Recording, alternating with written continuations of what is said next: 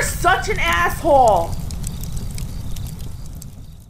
AssholeConsulting.com. We have an interesting question. I, the more I thought about it, the more I realized, no, I just don't know these people because I kind of naturally screen out these people and I don't let them into my life. But I guess this is something that happens in the real world, and I, I thought Gen X would have dominated this field back when we were into our grunge phase and putting mascara on our eyes and dressing like grunge. I thought this we would have not known. I guess the millennials have taken it, or IT guys or even IT girls who are unaware of that, and that is grooming and basic hygiene when working in the working world. So, uh, who writes? Shalon writes.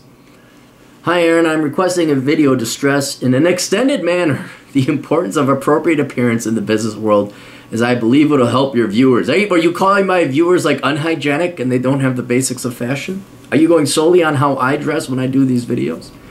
I believe that a lot of young professionals in corporate in the corporate environment are jeopardizing their career progression due to a lack of attention to detail in the following areas: grooming, clothing style, physical maintenance, and communications, written and verbal. An example I have often dealt with scenarios whereby the employer was removed from the company in some way due to being physically or verbally unpleasant, dressed in a trendy cultural slash social style in the workplace, or a combination of each. From my experience, often the result of such individuals has cost employers thousands of dollars in revenue, not to mention the employees their jobs. Do you agree with this from your experience? Kind regards, Sean. I have not seen that and if it happened i really didn't pay attention to it and i think a lot of that had to do because of the industry i was working at in banking it's very vain.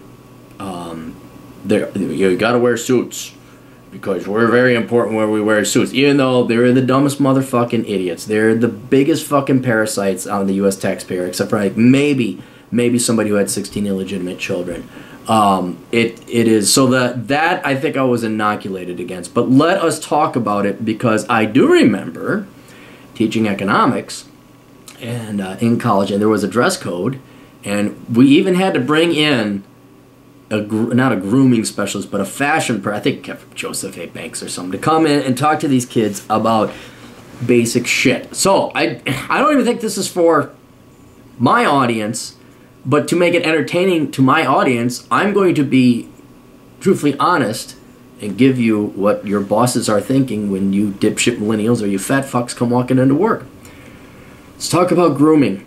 um, this is a no brainer. You shower, you shave, it's basic hygiene, you comb your hair, you have a clean haircut uh, unless your job is like the great Matt Baldoni and you are to play Barry Gibb, you cut. You do not have a crazy long haircut. Um, you know, and and and throw this bullshit out the window when you leave college, all this cutesy artsy fartsy bullshit where you shave your half over your head, you look like Sinead O'Connor, and then the long hair, you dye it multiple colors, yeah, that shit goes out the fucking window. And that fucking loops in the goddamn ears that you fucking independent minded people all seem to conformistly do, and piercing the nose and piercing the lips, and anything that isn't fucking normal, and you better motherfucking get used to the idea, that term called normal.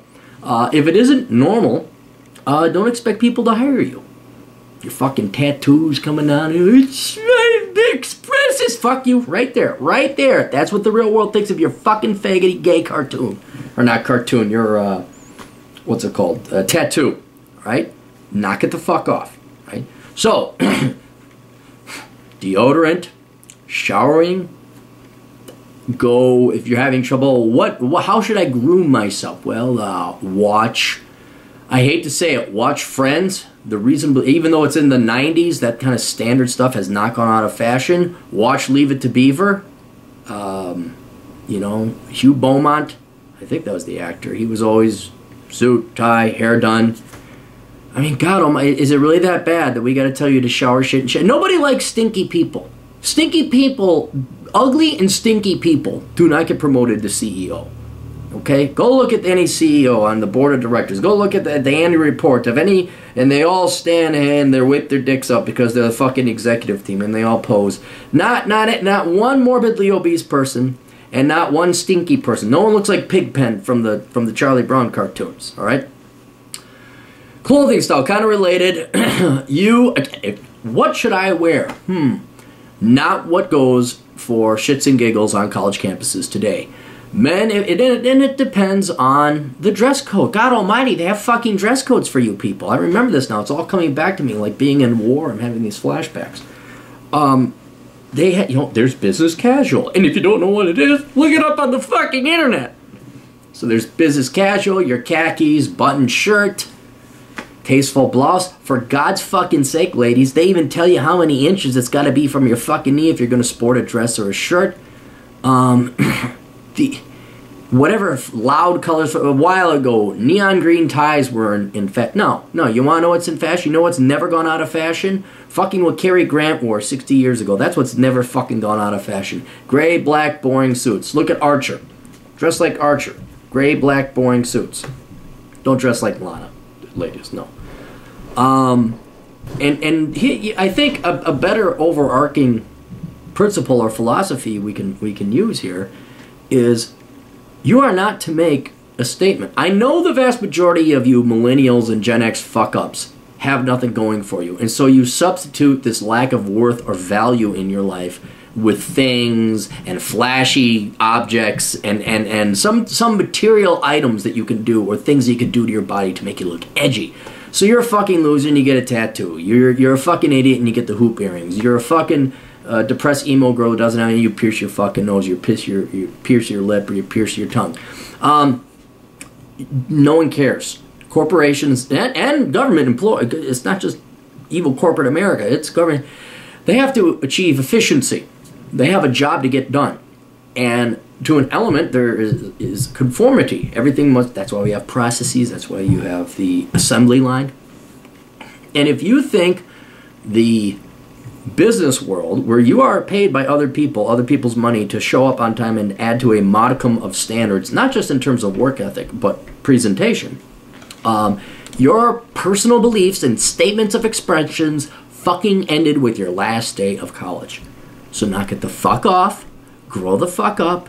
You can, you, when you're not being paid other people's time, because that's what you're paid. Other people had to sacrifice their time to give you, to earn the money to pay you right? They're not paying you money, they're paying you their time. You're on their time, that's where the phrase comes from. While you're on their time, you will do what they tell you to do within legal. And, and hey, I'm no big fan of employers. Watch any one of my other videos. um, and when you are done working, then you can stick whatever the fuck it is you want in your ear, stick whatever you want up your nostril, run around with your thumb up your ass for all I fuck. You can pierce your fucking big toe. I don't care. That's what you could do in your private time. But when you are under the employ of an employer, you adhere to their rules and laws.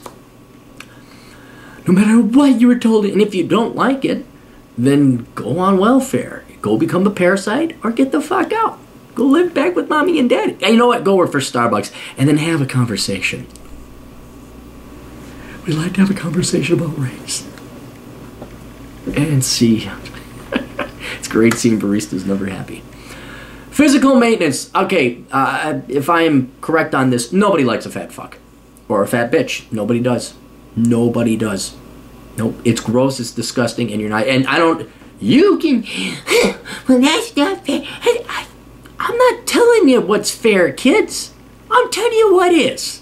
And you can run around and pout like you did in college about how unfair the real world is, and that gravity pulls down and water is wet, and, and the air blows. You can complain about all those things, it's not going to change it. There's a ton of studies out there that show more attractive people get the job. That why? Because other people, half the people in the under the employee of the company, want to look at that person and say, "Gee, I want to fuck that person." And here's another little study you may I had to look it up.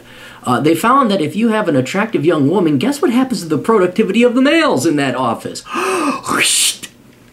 so I don't know about women because women are just like, eh, I want candles. I don't care if there's a hot guy here.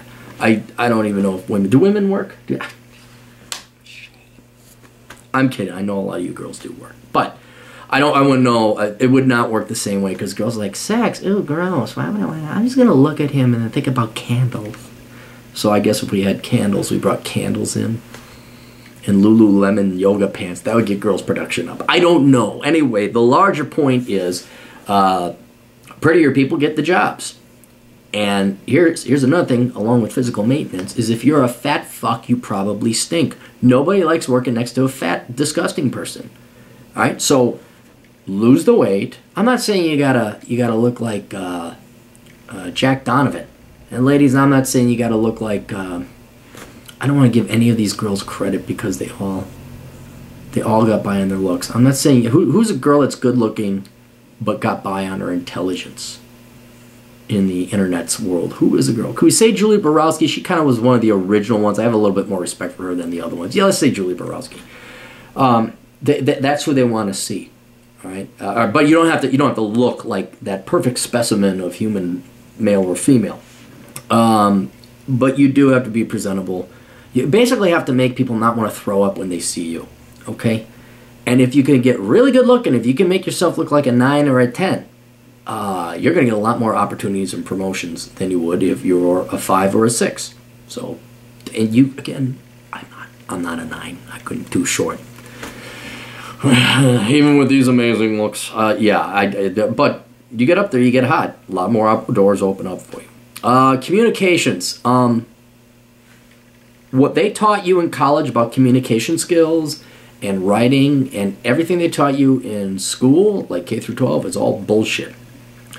Uh, you need to be clear and concise. You need to sit down and bang out your memo. I've never really had a problem with this, but apparently everyone, every corporate, we have a problem with communications. We need critical thinking, and what they're talking about there is not critical thinking.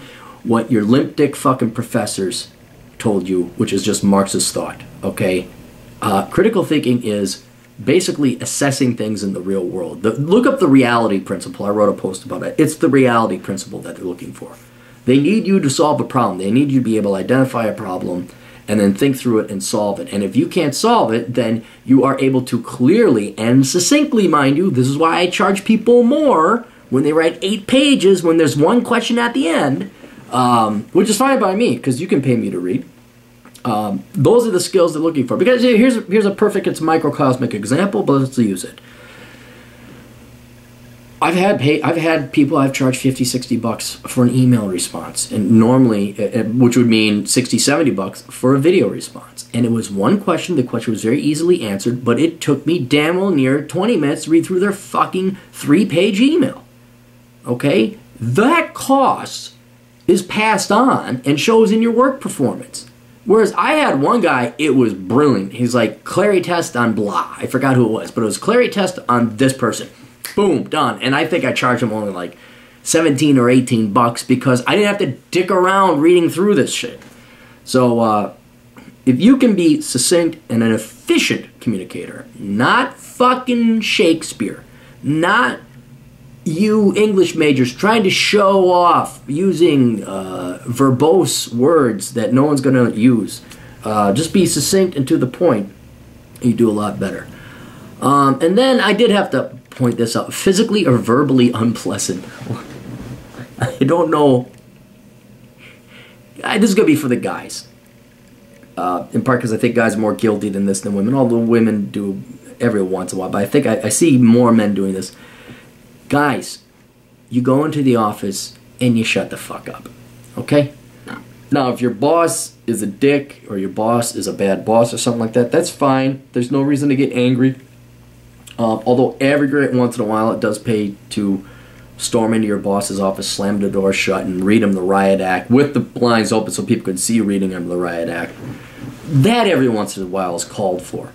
But you got to be willing to get fired after that. But outside of those rare instances, physically unpleasant. Don't get physically abusive with people or be uh, okay. You know, hygiene, basic, all that stuff. But then verbally unpleasant. You know, this is.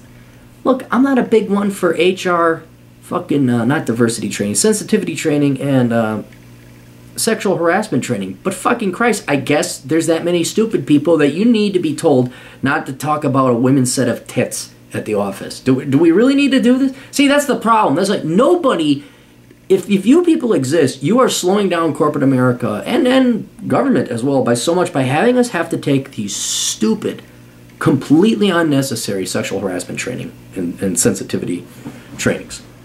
I, I, I, I don't know how your parents raised you that you thought you could curse and swear at an office. I don't know where the lack of the well probably your father wasn't around so you thought not wearing deodorant was okay because your mom told you you smell just fine the way you are you're a vegan and you let the armpit hair grow i don't know but if if you I can't help you if you're that stupid. I really can't. If you think that you can curse and swear, threaten people, become physically abusive at a at an office, you fuck, then you're going to go to jail. You're certainly not going to be working there much longer. So, uh, from my experience, often as a result, it costs thousands. Yeah, it costs thousands. It costs your employers thousands of dollars because it costs them thousands of dollars to hire you. And then I think what was it? The HR guy he told me, you know, it costs about half a person's salary to hire them. By the time you're done processing everything and all that, and before, like, you it, it costs half the salary. I looked at, it, I said, cool, give me a fifty percent raise. They just looked at me like, you asshole. So there's a lot of investment in infrastructure that goes into employ it goes into employing you people. Um, and I can see where corporations don't want to hire people. I can see where you fucking talentless people, genuinely talented, I mean that, who work at fast food and uh, and you want fifteen dollars an hour. I I could see where that level of entitlement, combined with these problems, a mentioned uh, a, aforementioned before, uh, I could see where that I could totally side with the corporation. Like, I wouldn't want to hire a fucking. Even right now, I, am one of my best friends. All of his problems come from employees. Like, fuck that. I'm never hiring an employee. I outsource. Even Chad Elkins kind of a pain in the ass, isn't he? Yeah, you know that Chad Elkins fucker. And that Matt Baldoni guy, you know, he he, he kind of mails it in every once. you you want to employ those guys? What the fuck? I'm kidding, guys. But anyway, yeah, if you're so sad that you don't know to put on deodorant and all that, here, here's here's to my client. Fuck them. Uh, what is this our responsibility? I mean, yeah, if if the the neckbeard comes in unshaven with Dorito or cheesy puff powder on it, uh, what am I in, stuck in his beard? What you think there's salvation? You think there's this is where the real world will take care of these problems for us. We don't have to worry about it. Anyway, that's uh, that's the basics on grooming and physical appearance at work. Hope that helps out the few of you that might have paid attention. Best luck to you. Toodles.